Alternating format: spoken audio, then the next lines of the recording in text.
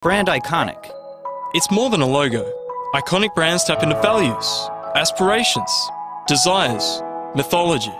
They foster an emotional connection that leads to loyalty and purchase. Yeah, yeah, but how do you make a brand iconic? With the fundamental elements of design. Let's start small with a simple point. What's the point? Together, points make a line.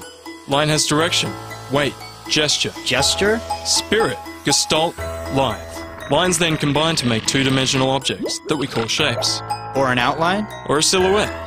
These shapes are regular and geometric. Others may be irregular and organic. When put together, shapes can define one another. You mean they contrast? Right.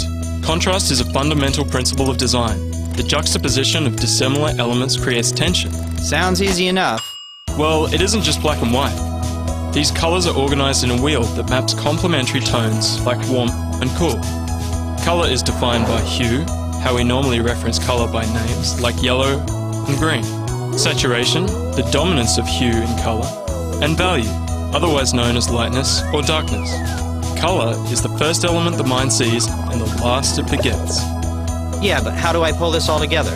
Composition is emphasis on a focal point against a background strengthened through scale. Whether radial, symmetrical, or asymmetrical, composition is. This is getting exhaustive. Then let's speed up the rhythm, which provides order in composition.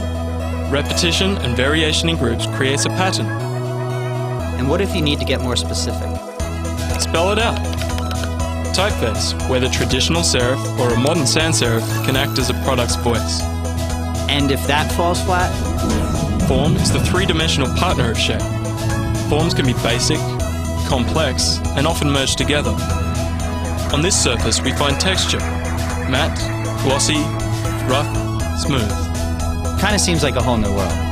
Negative space creates a mold around the positive space of form. Okay, but should we use all these tools at once? No. Aim for harmony and simplicity, the concert of separate elements. Design is the careful balance of these principles. Our goal is to create clear, consistent emotional connections. And with a common visual vocabulary, We can make brands iconic. you've got it.